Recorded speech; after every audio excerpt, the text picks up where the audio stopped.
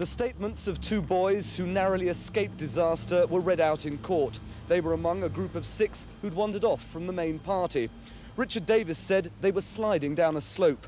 Suddenly it became a lot steeper, he said. I was going faster. I grabbed the branch of a tree. I assumed the others had gone over the brow ahead. We stood shouting, but we didn't get any answer. His friend Thomas Plumridge said the others had disappeared only a few yards in front of him. He had grabbed the last bush before the edge. The two boys and other children said the teacher in charge, Brian Lee, had earlier strongly warned them to stick to the path and to slide only on an area they would be shown.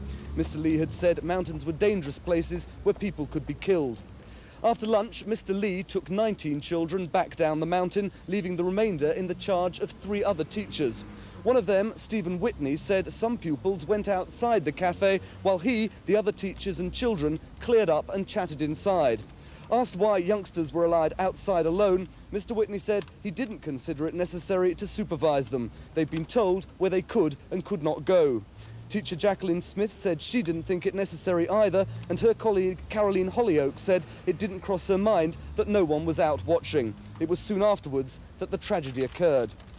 Summing up, the coroner, Robert Wilson, asked, Am I being naive in saying if you tell young boys where to go, they promptly go somewhere else? The mother of Andrew Watts gave evidence in court, said she'd been told the only time the children would be left unsupervised was in Salzburg in the evening. I trusted the teacher to look after him in the same way that I would have done. I worked at that school and I knew those teachers and I can't believe they let me down like this. You think that the teachers have failed you? I do think they failed me because I believed they would look after my children.